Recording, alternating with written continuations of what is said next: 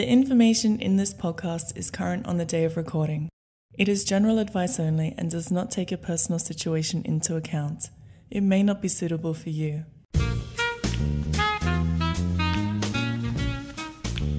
Welcome to Stocktake.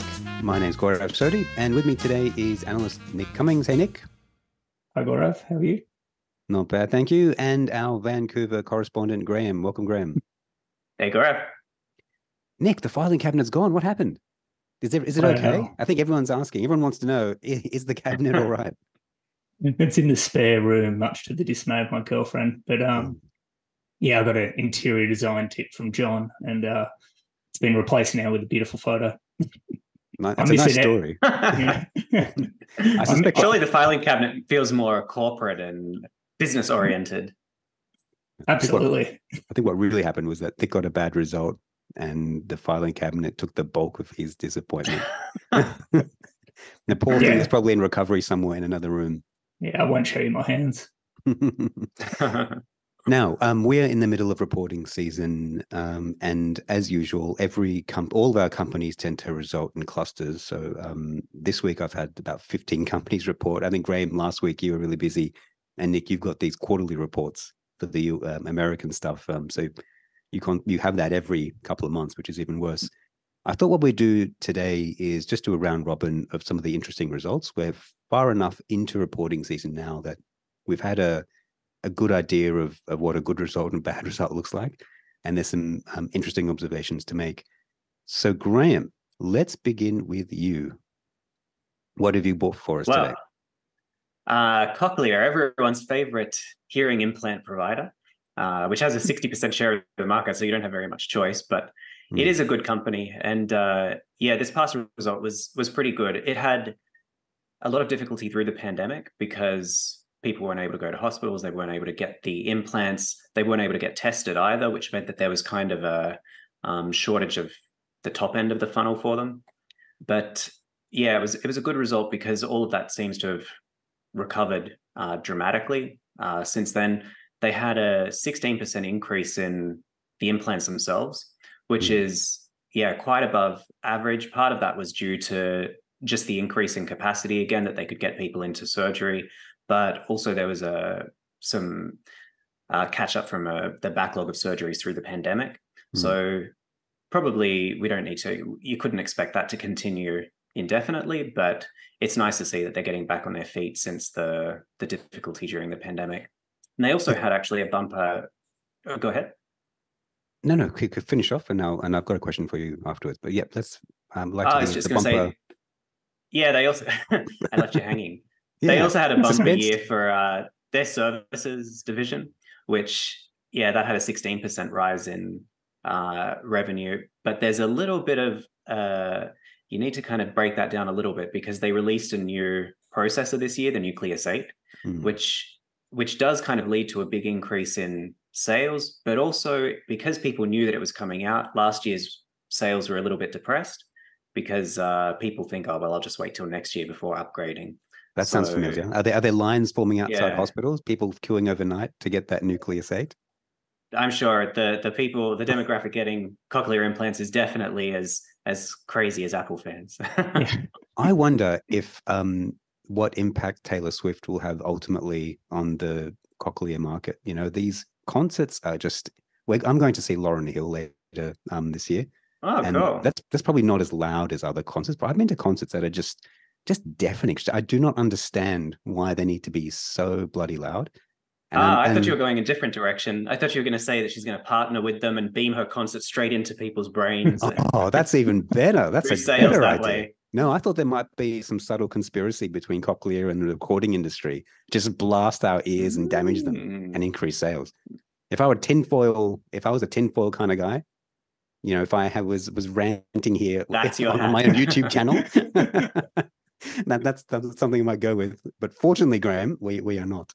Um, look, the question I had for you actually was: I remember a few years ago you were speaking about um, a Chinese competitor, and there was talk of um, uh, a low cost challenger out of Asia, specifically out of China, challenging Cochlear. Has that impacted Cochlear at all? Has that really been um, a nothing? Uh, not really. I mean, Cochlear's market share has actually been increasing very Mm. very slightly, and you can't expect it to really get much much higher. It's it's basically at its max in terms of market share.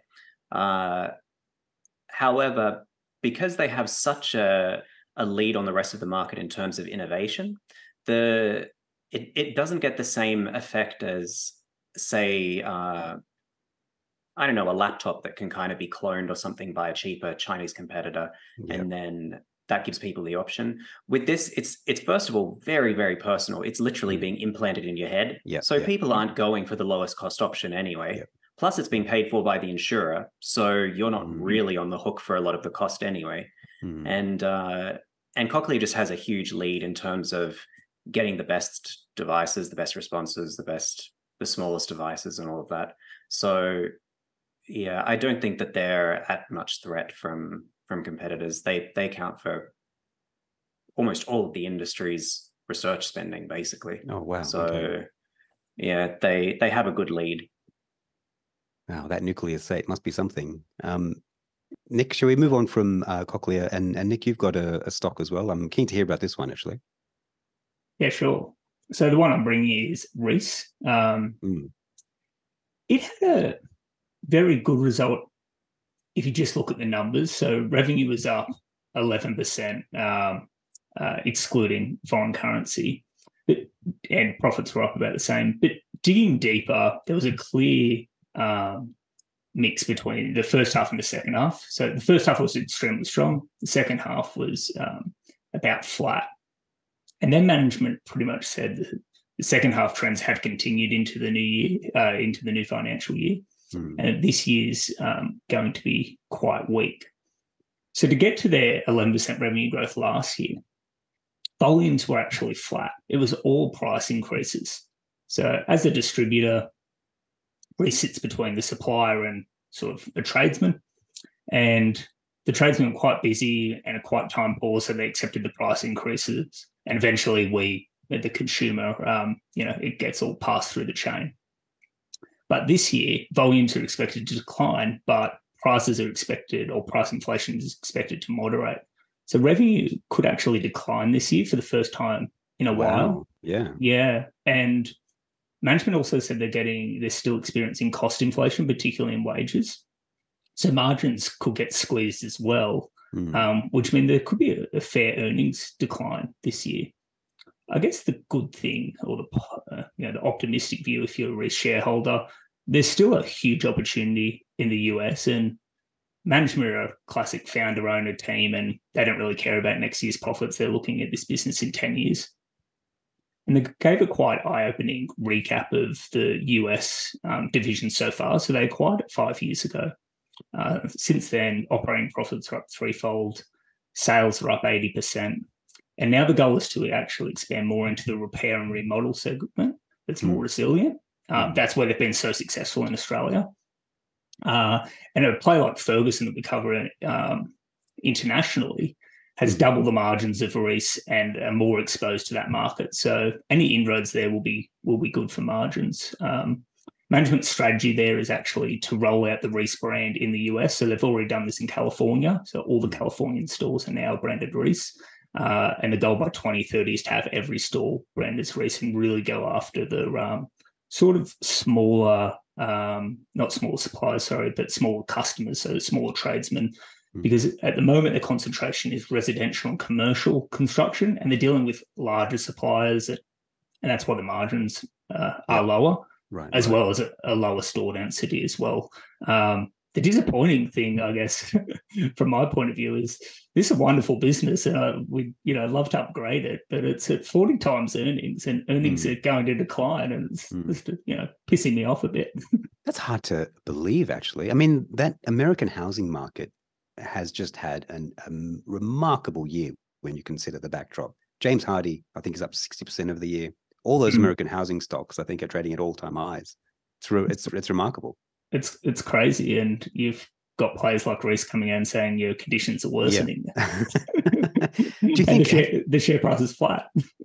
has uh, um, is the same message coming from Ferguson as well, or is this uh, Yes. specific? Yep, yep. No, yeah, yeah, it's industry wide. Yeah. Wow. There are moments like that when um, management's trying to tell you something and the market's just refusing to listen. I've I've had that yeah. experience as well.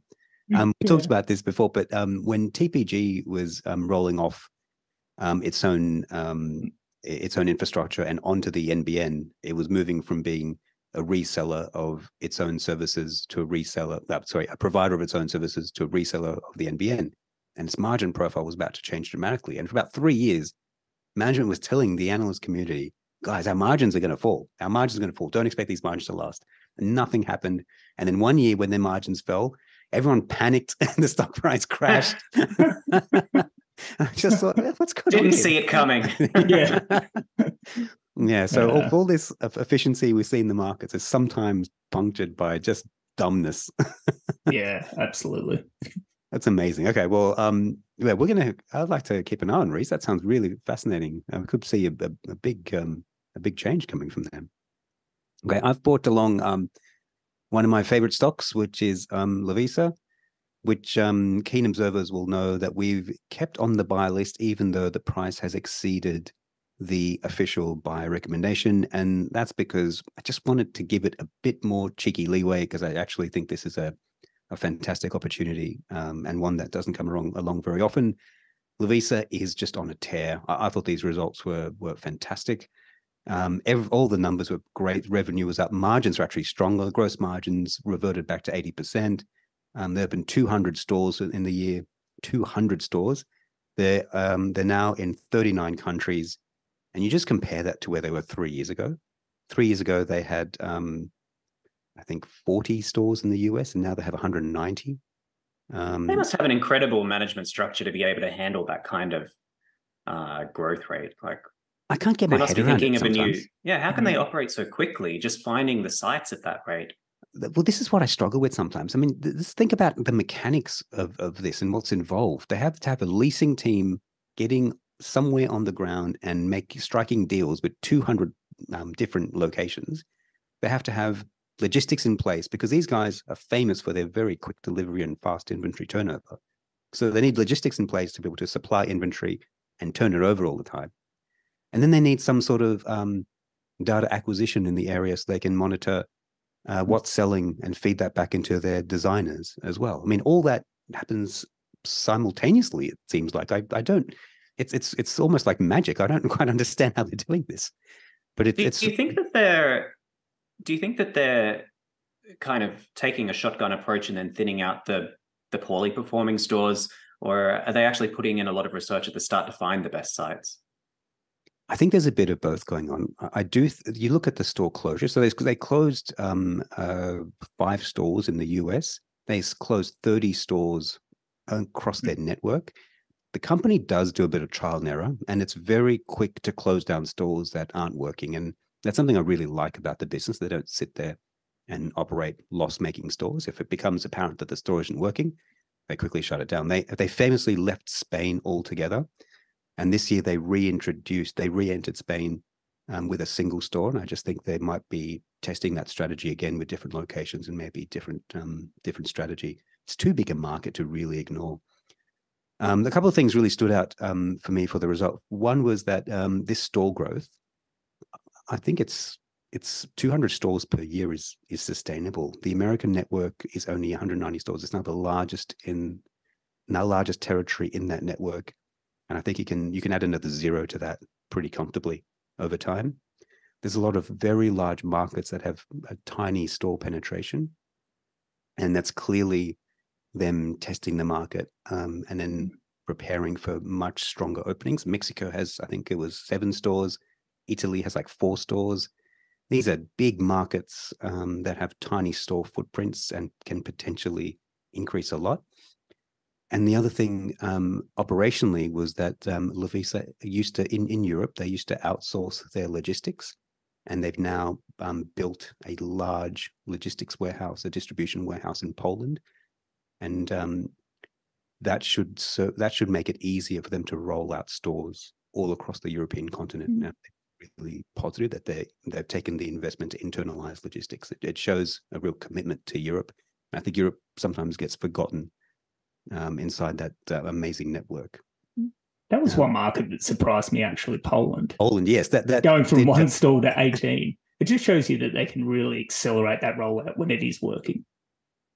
And I think this is the key to wrapping your head around this. I mean, it's not easy buying a retailer with no obvious moat at 35 times earnings, we're talking about. But what you have to realize is that the company is just continuing doing what it's doing. It's not, we're not actually asking the business to do anything new. Nothing changes. They've shown that they can, they have the logistical and managerial know how to grow the network They've shown that they can open in markets across cultures and across geographies. And I, from from my point of view, we're just um, doing the same thing. Um, and when you run the numbers through, that PE comes down awfully quick.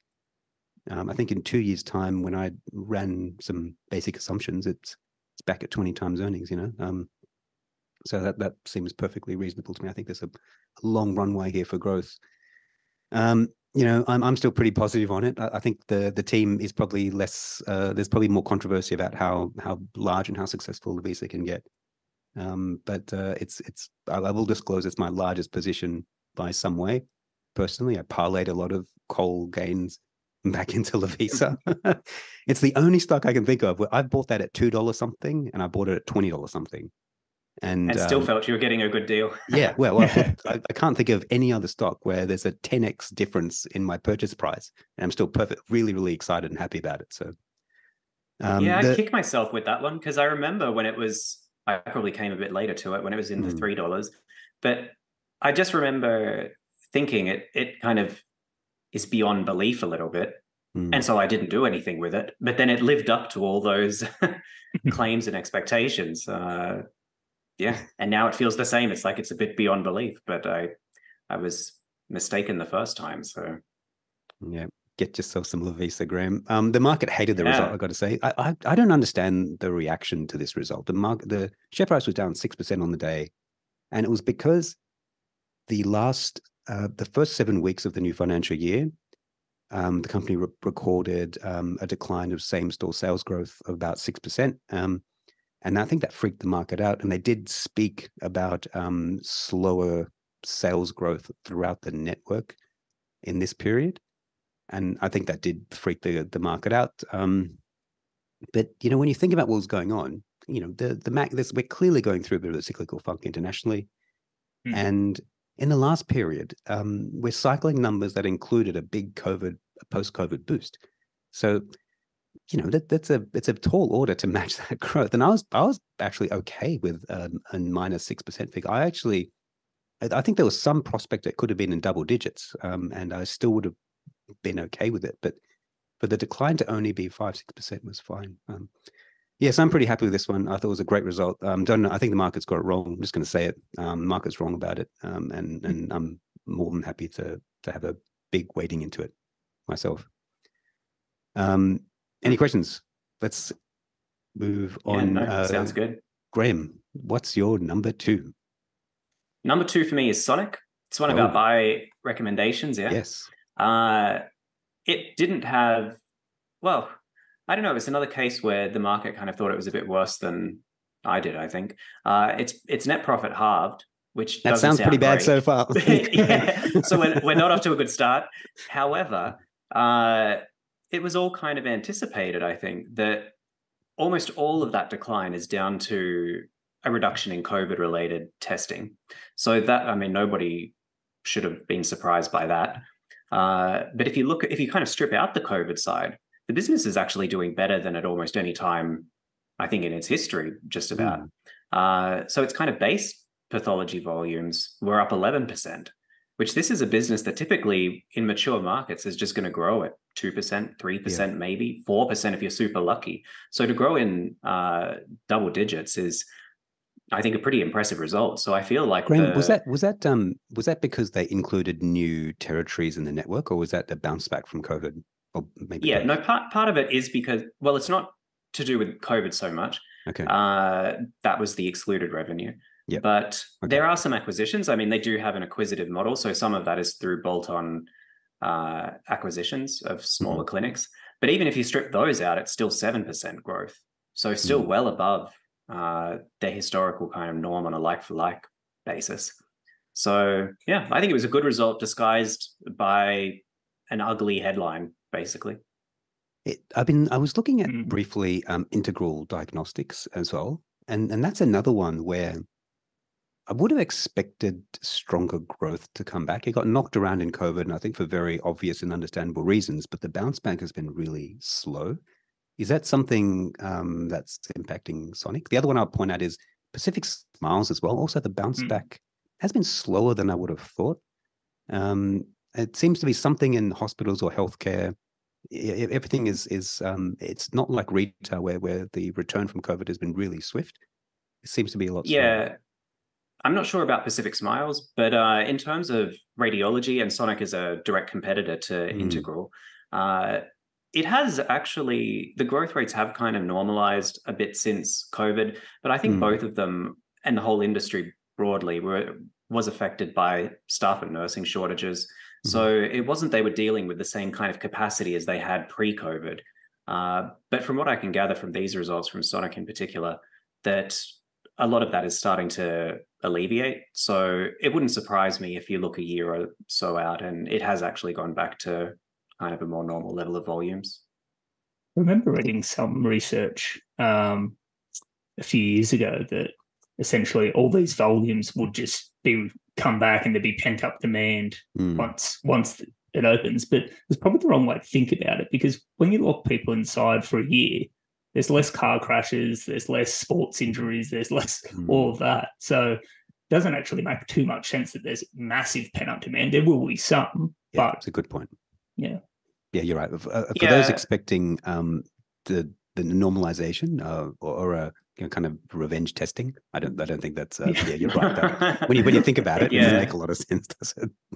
That, Although, yeah, I that's say probably that- the case for pathology, but for radiology, a lot of their stuff is either uh, pre-surgery or diagnostic because it's you've got cancer or something like that. So I'm not sure how much that would have been affected by being stuck inside. There's probably some degree of it, but I do have um, a tip for um, Sonic management, should they be listening. What my local dentist has done, he's offered um, Matchbox cars for all the kids getting their teeth um, uh, checked.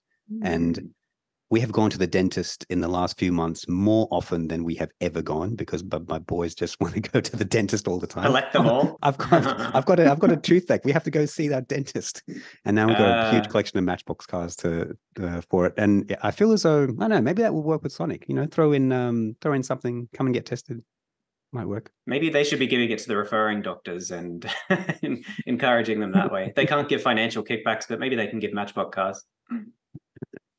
Um, Nick, um, your well, I was going to say your number two, but that sounds pretty nasty. How about your your second choice? Uh, yeah, just before that, we'll just take a quick short break. yes, let's do that. Thank you, Nick. The responsible adult in the room. Yes, let's take a quick short break. If you like the sound of our investing approach and aren't yet a member, visit intelligentinvestor.com.au to take us on a free 15 day test drive. Get immediate access to all of our current buy recommendations, model portfolios, and engaging educational research tailor made for people that want to manage their own money. That's intelligentinvestor.com.au for a free 15 day trial. No credit card required. Yeah. So my second one is WiseTech, a company we don't formally cover, but a company we've uh, written up a few times as an ideas lab. We'd love to own this business. It's uh, it's just wonderful, but the valuation is um, our our buy price is so far away from the current share price. It's Mhm. it's not worth doing. Its result it actually fell twenty percent on the day of its result. Um, unfortunately, I want it to be down a lot more, but it was this a, a case of the market getting way ahead of itself with expectations. So revenue rose 30% this year, um, and everything looked very good in, in the numbers. Um, cash flow was great. Uh, they acquired a few businesses which will kick into earnings next year. But the forward guidance has the business slowing down from around 40% uh, revenue growth in their core CargoWise um, software down to 19%. And they called out that there was industrial, uh, like an industrial slowdown, which they they do get some revenue from volumes, so that that is um, coming back. but the market just can't, or the share price just couldn't support evaluation and the disappointment that sort of followed after the after the release of these numbers. Brokers actually downgraded their numbers by about thirty five percent. Um, mm.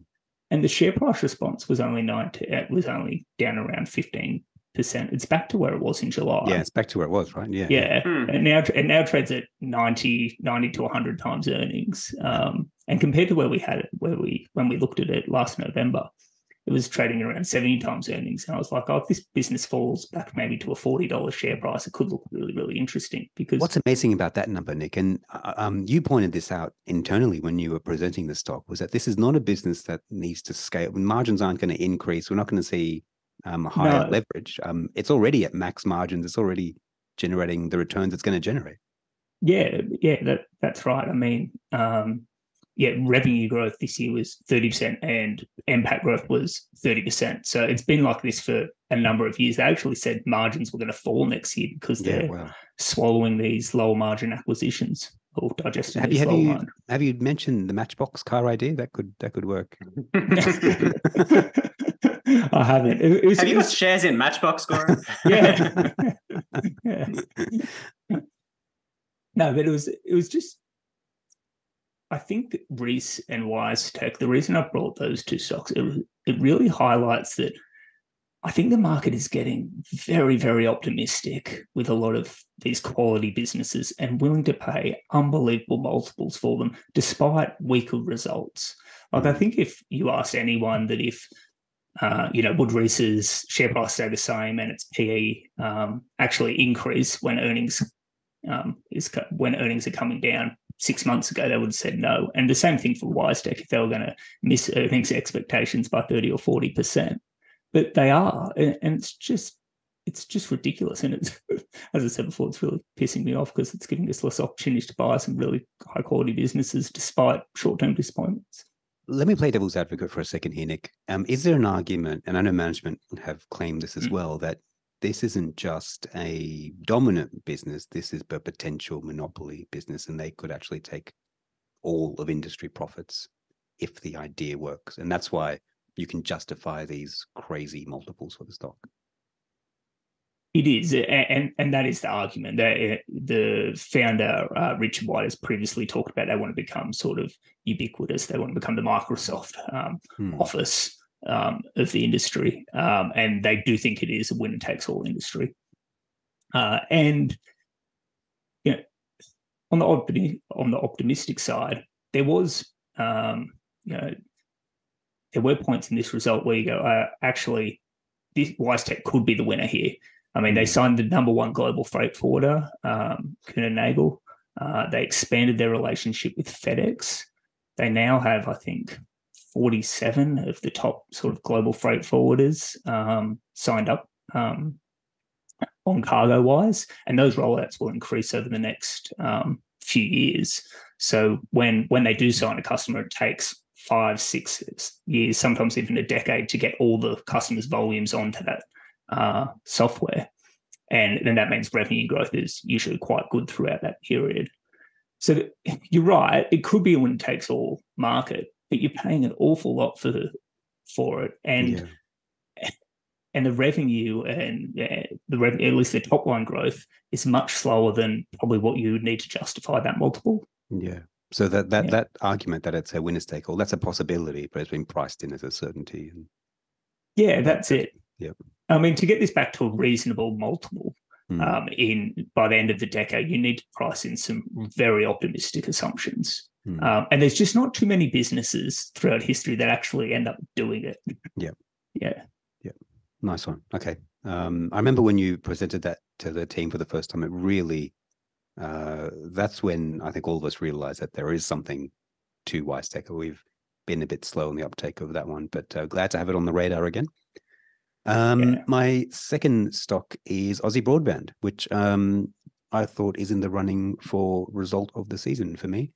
Um, it didn't surprise; it met guidance, and it shouldn't have uh, been a, a, a huge shock to anyone following that business. But the reason it was so good, and the reason why this particular result is so important, is because Aussie Broadband is in a bit of a pivot phase. It's doing something quite different for its entire history, and it's been around for almost 20 years.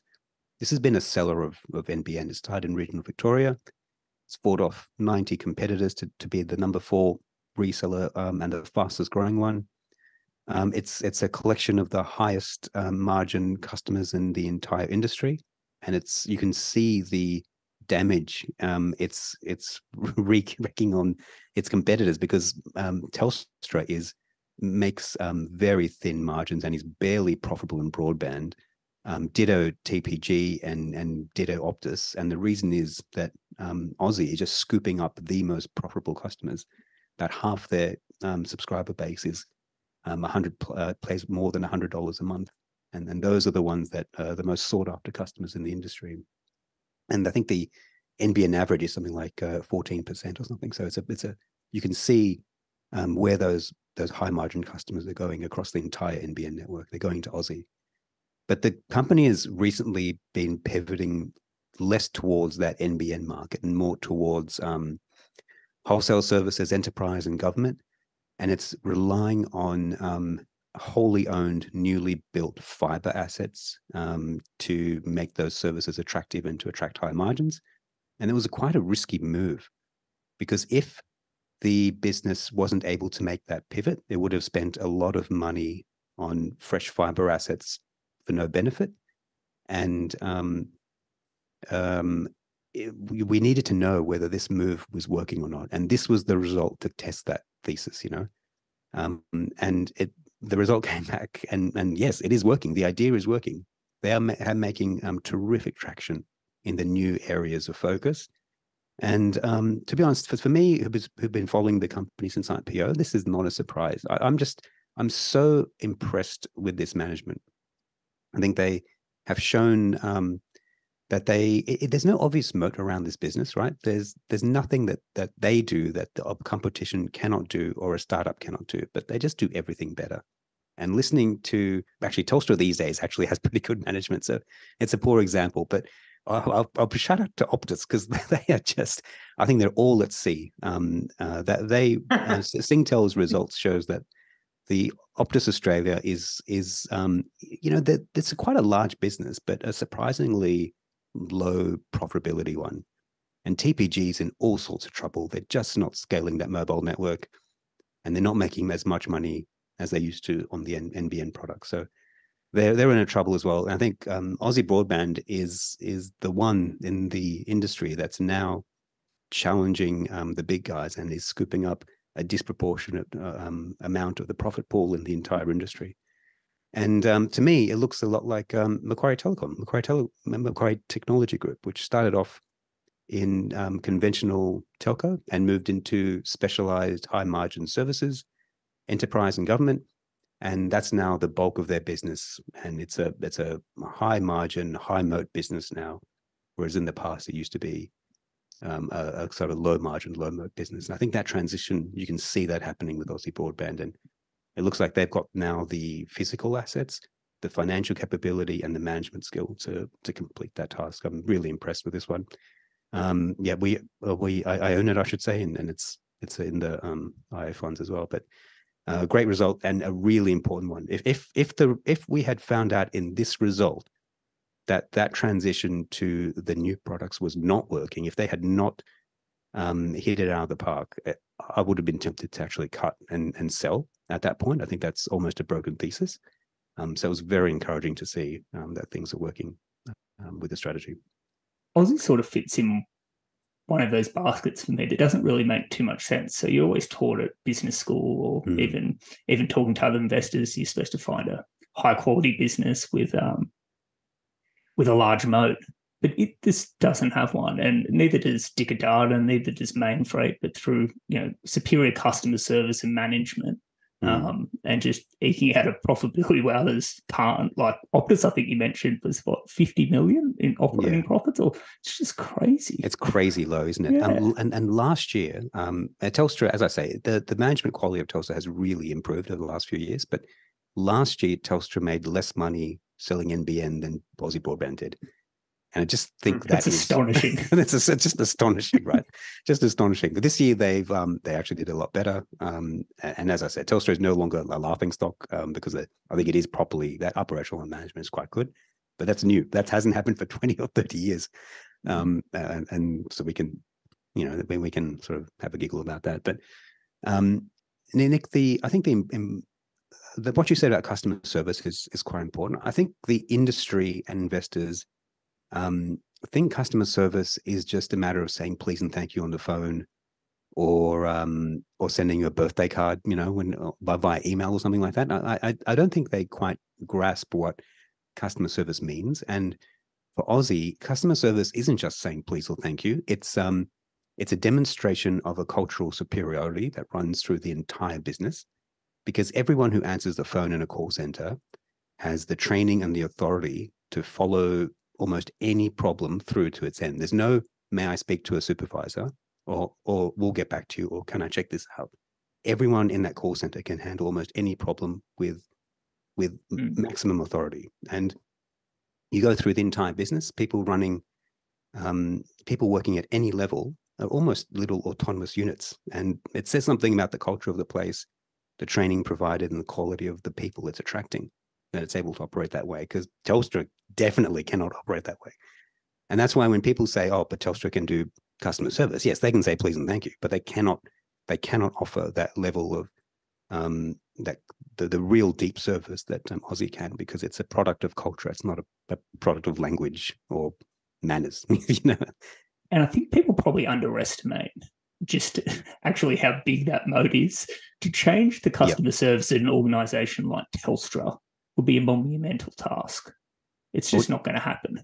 the, the one that um, is is nowhere near is, is TPG, which has been the Mm. traditional um, challenger brand. Um, I mean, look at their NPS scores, their Net Promoter scores. It's just miles off. Um, I mean, Telstra deserves some credit. We don't want to be picking on Telstra because they actually lifted their scores, and um, I think they have done better. But yeah, I, I I really fret about the future of TPG. I think they're certainly not the business they used to be. I wrote an obituary for TPG um, recently. Um, so if you want to shed a tear of TPG, you can go read that.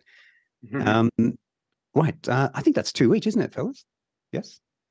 yeah. Got my maths correct? Yes, I think that's right.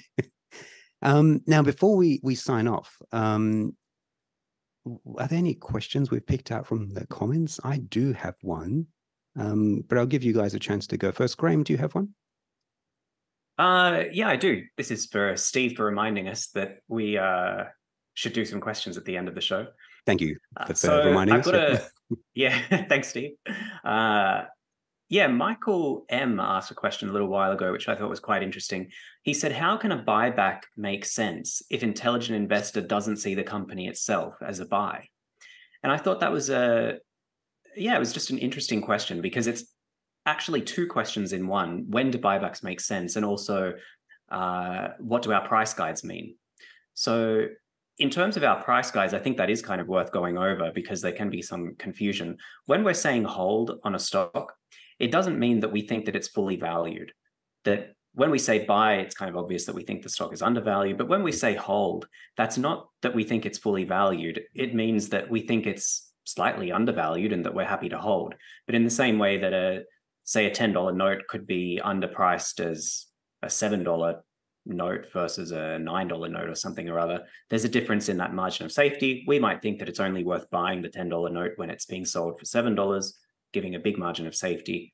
But that doesn't mean that it's silly to buy it at $8 or $9. You're still getting a deal. We just don't think there's enough of a gap there. So yeah, that's that's the price guide side that just because we say hold doesn't mean we don't like the stock or we're not happy to buy it at that price. It just means we think it's worth waiting for a bigger margin of safety if you're going to add it to your portfolio. The other side of it is when buybacks make sense. And that's basically whenever the company uh, is able to repurchase its stock at a lower valuation than its intrinsic value actually is, and that it's got the financing capacity to do it. So if you've got so so in that case, uh, we can say that yeah, the buyback can make sense if it's just a 10% discount to what it's worth. and management is probably going to have a better idea of that than outsiders because they've got all the inside information. So they can accept kind of a smaller margin of safety than an outsider, I would say. Uh, so kind of putting those two things together, yeah, a buyback can make sense even if it's in hold territory. If it's in sell territory for us, then we probably aren't going to say that it is smart to uh, for the company be, to be buying back stock. But while it's still a hold, that can still be perfectly fine and add value to shareholders who are hanging on. What do you guys think? Are you guys in the same kind of camp? I'd add one more thing to that is that um, our we have lots of competing uses of capital as private investors. Uh, there's a whole universe of stocks and assets that we can buy. Um, so any idea needs to be particularly attractive um, to get a spot for our incremental dollar. Whereas the company, there's only a limited uh, pool of possible investments they can make. Right, they can pay a dividend, mm. buy back stock, or invest back in the business. Uh, and so those uh, those opportunity costs are much are very different for the business and for us as individual investors. Um, anything to add, Nick? No, I think you guys have covered it well. Um, thanks, Graham. Good question to pick up, and and uh, good question. Thank you, ask. Michael. Um, hmm. look, I, I, know there's a lot of questions um, on my articles. I, I, find it very difficult to go through um, the comments while reporting season is on. I, I can't do multiple things at once. I just find it mentally challenging. Sorry about that, but I will get to them um, um, maybe next week when um, I'll set aside a day and I'll just go through some of those questions. But one I wanted to point out here was there's been quite a few comments about Alumina and specifically making comparisons between Alumina and New Hope and Alumina and Whitehaven. And I think the inference seems to be that, um, you know, Whitehaven and New Hope have done spectacularly well. And this is another resource commodity business and it's destined to do spectacularly well, spectac- spectacularly well as well. I'm not going to pretend to be falsely modest. We have a, a stellar track record on resource stocks. Um, it's got to be one of the best in the industry. Like we we we do it really really well. And, but we the reason we do it well is because we do it so selectively. We don't do it very often. Um, Alumina, let me be clear, is not the same opportunity set as those coal miners. This is a far more speculative business. When we were buying those coal miners, it was a traditional cyclical funk. From my point of view, I, I thought we were buying um, pretty decent assets uh, at a time when the market was funked out. There's nothing nothing overly clever about that. I don't think all you need is the is the stomach to do it. You don't need to you don't need any real insight or you don't need any special intelligence. You just need uh, um, the behavioral and the, uh, the the the stomach really, as I said. But that's not the case for alumina. I mean, it is a high quality asset base, and the commodity price is bombed out. But there's another layer of complexity with the with the regulatory risk and that is something that um, you know your stomach isn't going to help you with that. Um, your analytical analytical skill isn't going to help you with that. That's a that's a risk we're just taking on. Um, we're taking that on, um, and the reason why it sits on the buy list. I note that it's a speculative buy now because those regulatory risks have increased in the last few months. It's a speculative buy, and that's because um, if the WA government does not grant those licenses, um, the business's low cost status will be challenged. Um, it will still be able to access all uh, volumes shouldn't be interrupted too much over the next um, decade or so. But it's really about the cost profile because the new the new areas provide higher grades, and um, instead the business will be forced to continue to mine lower grades. And so you have a permanent shift in the cost of this business, and and I can't handicap those odds. Why is it on the buy list in that case? Because WA, the only reason that remains a spec buy still and not a hold or a sell is because WA is the best mining jurisdiction in the world, bar none. And if you look at the history of WA decisions, they've you know they've always favored, almost always favored um, uh, mining over non-mining. Um, the economy is built that way. The political culture leans that way, and so I think the odds are in our favor, but they're not. It it is it is, there is a marginality to this. This is not the same thing. This is not a, a no brainer. This is not a traditional buying uh, good assets when the price is funked out. You know, there's a there's a new layer of complexity. So I really want to be very clear about this that Alumina is not New Hope. Um, there is uh, more uncertainty about its outcome, and hence it's a speculative buy. So please act accordingly. And I made a special note in that review to to point out that we should stick to very carefully to those limits. Um, you know, I'm, I don't always stick to to limits, but I certainly would be sticking to those Alumina limits. So, so please um, tread carefully with that one because it's not um, it is not uh, New Hope or Whitehaven. It's ten times better. yeah. So Nick, I can uh, you can see you sweating there. You what you've you've you've, you've parlayed your mortgage into um into Alumina, haven't you? How many times have we spoken about this? hey, listen. Um, I think we're supposed to break uh, one more time for a break, so let's do that, and we'll come back and, and say goodbye. If you enjoy our approach to investing but don't want to manage your own money, check out Intelligent Investor's range of managed funds, including income, growth, ethical, and international options. Decades of research and experience is distilled into the management of these four managed funds, each focus on achieving outsized investment returns. Check out our performance, track record, fees, and approach at intelligentinvestor.com.au forward slash funds hyphen overview. That's intelligentinvestor.com.au forward slash funds hyphen overview. All right, now that we've forced you to listen to a commercial break, um, it's time to sign off. Uh, thanks very much for for joining me today, fellas. Um, Graham, um, pleasure to have you on as always. Thank you. And Nick, um, missed the filing cabinet, but nice to hear from you as well. Thanks very much.